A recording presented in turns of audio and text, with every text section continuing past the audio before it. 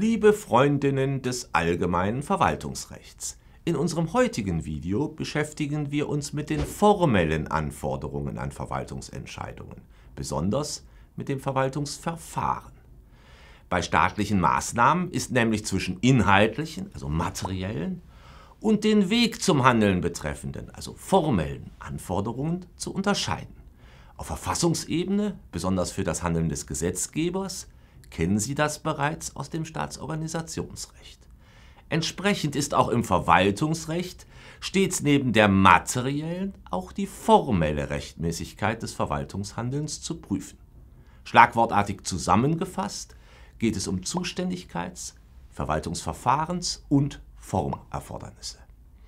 Besonders wichtige Beispiele sind Ihnen in früheren Videos bereits mehrfach begegnet, nämlich als Verfahrensanforderung die etwaige Notwendigkeit einer vorherigen Anhörung des oder der Betroffenen sowie als Formerfordernis die Begründung eines schriftlichen Verwaltungsakts.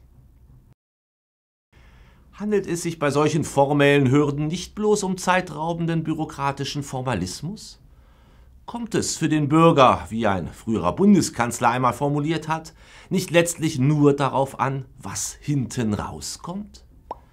Gewiss zählt für die Betroffenen in allererster Linie das Ergebnis. Doch sollen formelle und besonders Verfahrensanforderungen günstige Rahmenbedingungen gerade dafür schaffen, dass die abschließenden Sachentscheidungen rechtmäßig getroffen und etwaige Entscheidungsspielräume durch die Verwaltung möglichst sachrichtig ausgefüllt werden. Insbesondere muss die Verwaltung erst einmal den Sachverhalt richtig ermitteln und so das notwendige Wissen generieren. Man spricht insoweit von einer instrumentellen oder auch dienenden Funktion des Verwaltungsverfahrens. Daneben kann das Verfahren allerdings einen gewissen Eigenwert auch unabhängig vom Ergebnis, nicht instrumentell gewinnen, etwa durch Verbesserung der Akzeptanz der Sachentscheidung durch vorherige umfassende Bürgerbeteiligung. Welche negativen Konsequenzen es hat, wenn dies nicht gelingt, sehen wir etwa an Stuttgart 21. Zunächst einmal muss die Zuständigkeit eingehalten werden. Dies soll im Sinne der instrumentellen Verfahrensfunktion sicherstellen, dass die fachlich kompetente Behörde tätig wird. Es gibt zwei Zuständigkeitsebenen, wobei die zweite weiter unterteilt werden kann. Als erstes muss die richtige Gebietskörperschaft, Bund, Land oder Gemeinde gehandelt haben. Man spricht hier von Verbandskompetenz. Zweitens muss innerhalb der zuständigen Gebietskörperschaft die richtige Behörde tätig geworden sein. Das nennen wir Organkompetenz. Und dabei ist wiederum zwischen sachlicher und örtlicher Zuständigkeit zu unterscheiden. Sachliche Zuständigkeit meint die richtige Fachbehörde. Rufen Sie sich hierzu gegebenenfalls die Ausführungen zur Behördenstruktur im Skript noch einmal in Erinnerung. In den Verwaltungsverfahrensgesetzen ist nur die örtliche Zuständigkeit subsidiär allgemein geregelt. Paragraph 3. Die jeweilige sachliche Zuständigkeit bestimmt sich ausschließlich nach dem jeweiligen Fachgesetz oder allgemeinen Organisationsgesetzen des jeweiligen Bundeslands im Außenverhältnis zum Bürger irrelevant und keine Rechtmäßigkeitsvoraussetzung und deshalb auch nicht von Ihnen zu prüfen, ist demgegenüber die, könnte man sagen, dritte Frage, welche Abteilung und welcher Amtsträger innerhalb der Behörde nach der verwaltungsinternen Organisation zuständig ist. In der Fallbearbeitung genügt zur Zuständigkeitsfrage normalerweise eine kurze Feststellung unter Nennung der einschlägigen Vorschriften. Nur ganz selten gibt es dort Problemfälle. Weit größere Bedeutung besitzen die Anforderungen an die Verfahrensgestaltung im engeren Sinne. Nach 10 VWVFG ist das Verwaltungsverfahren im Regelfall nach Ermessen der Behörde möglichst einfach und zweckmäßig zu gestalten, also weitgehend formlos. Gewisse Flexibilität besteht schon bei der Entscheidung über die Einleitung eines Verfahrens und mehr noch bei der Ermittlung des Sachverhalts. Das Verwaltungsverfahrensgesetz enthält nur wenige zwingende Vorgaben. Beispielsweise zum Ausschluss von Amtswaltern wegen Befangenheit. Mit Abstand die größte Bedeutung besitzt die vorherige Anhörung. Sie ist nach dem Wortlaut von 28 Absatz 1 VWVFG doch nur unter engen Voraussetzungen geboten.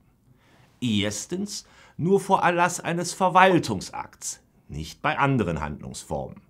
Zweitens nur bei einem Eingriffsakt, nicht bei der Versagung einer Begünstigung. Drittens schließlich nur bei einem Beteiligten im Sinne von 13 VWVFG und damit regelmäßig nur beim Adressaten des Verwaltungsakts. Umstritten und in der Vorlesung zu vertiefen ist, inwieweit der Anwendungsbereich von 28 des Verwaltungsverfahrensgesetzes zwecks effektiven Grundrechtsschutzes, auch dies eine instrumentelle Verfahrensfunktion, ausgedehnt werden muss. Weitgehend unstrittig ist jedenfalls, dass die Anhörung über den Wortlaut hinaus nicht nur zu entscheidungserheblichen Tatsachen, sondern auch zu damit eng zusammenhängenden Rechtsfragen geboten ist. In den Fällen des Absatzes 2, die nach dem Wortlaut nicht abschließend sind, kann eine Anhörung entbehrlich sein. Das ist aber nicht automatisch der Fall.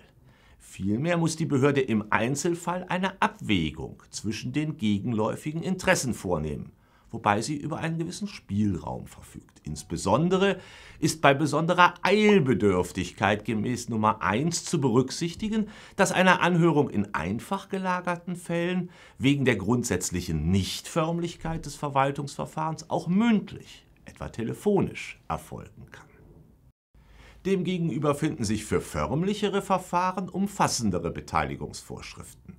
Nach Spezialgesetzen sind teilweise auch andere Behörden oder Verbände anzuhören und in anderer Form zu beteiligen. Formvorschriften sind im allgemeinen Verwaltungsverfahrensrecht schon wegen der grundsätzlichen Nichtförmlichkeit selten. Insbesondere muss das Verfahren im Regelfall nicht zwingend schriftlich durchgeführt werden wie § 37 Absatz 2 VfG für den verfahrensabschließenden Verwaltungsakt deutlich macht. Wenn jedoch ein schriftlicher oder elektronischer Verwaltungsakt erlassen wird, bedarf er grundsätzlich einer Begründung. Das ist neben der Anhörung die mit Abstand wichtigste formelle Rechtmäßigkeitsvoraussetzung. Die Begründung dient zum einen der Selbstkontrolle der Verwaltung und damit instrumentell der Qualitätssicherung. Zum anderen soll sie dem oder der Betroffenen helfen abzuschätzen, ob ein Rechtsmittel Aussicht auf Erfolg hat. Maßgeblich ist 39 Absatz 1 VWVFG. Die Begründung kann sich nach Satz 2 auf das Wesentliche beschränken. Letztlich besitzt die Behörde einen erheblichen Spielraum, wie ausführlich sie die Begründung gestaltet.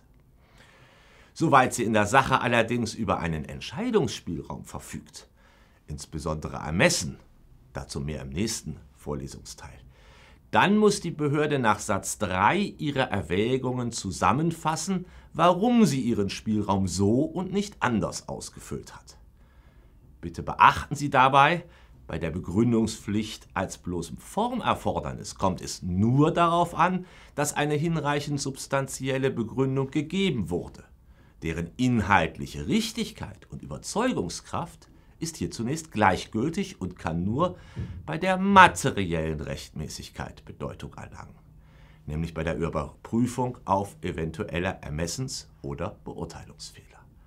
Dazu erst später in der Vorlesung und im Zusammenhang mit Spielräumen der Verwaltung.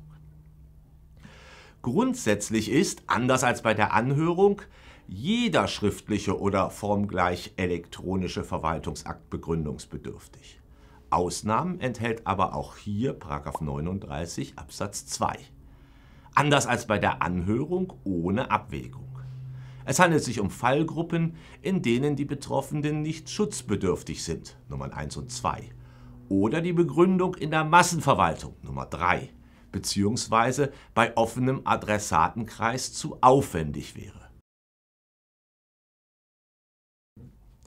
Zu den Formerfordernissen im weiteren Sinne mag man noch die Bekanntgabe eines Verwaltungsakts nach 41 Verwaltungsverfahrensgesetz zählen. Doch ist dies keine bloße formelle Rechtmäßigkeitsvoraussetzung, sondern, wie bei Willenserklärungen im Privatrecht, eine Wirksamkeitsvoraussetzung. 43 Absatz 1 VWVFG. Kein Formerfordernis, sondern schon nach dem Wortlaut materielle Rechtmäßigkeitsvoraussetzung ist dagegen die hinreichende inhaltliche Bestimmtheit gemäß 37 Absatz 1 VWVFG. Anhand der genannten und gegebenenfalls weiterer einschlägiger Vorschriften lässt sich feststellen, ob gegen formelle Anforderungen beim Erlass eines Verwaltungsakts verstoßen wurde. Von dieser Frage, ob ein Fehler unterlaufen ist, Strikt zu unterscheiden ist die nachgelagerte Frage, welche Rechtsfolgen der Fehler zeitigt. Insoweit sind die Paragraphen 44 bis 46 Verwaltungsverfahrensgesetz einschlägig und in dieser Reihenfolge zu prüfen. Nach 44 bestimmt sich, ob der Verwaltungsakt wegen eines Fehlers ausnahmsweise von vornherein nichtig und unwirksam ist. Normalerweise ist dies jedoch nicht der Fall. Bitte erinnern Sie sich an den Grundsatz der grundsätzlich eben fehlerunabhängigen Wirksamkeit als wichtige Funktion der Handlungsform Verwaltungsakt.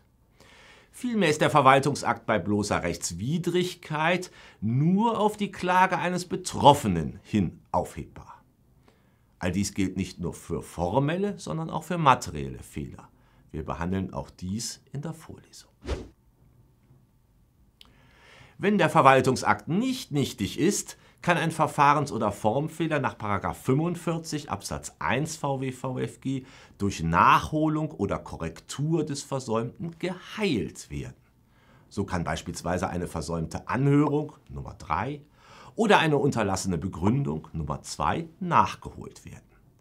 Dies ist nach 45 Absatz 2 bis zur letzten mündlichen Verhandlung in der letzten Tatsacheninstanz also nicht mehr in der Revision beim Bundesverwaltungsgericht, möglich. Nach gelungener Heilung ist der Verwaltungsakt insoweit formell rechtmäßig. Dies ist deshalb auch dort zu prüfen.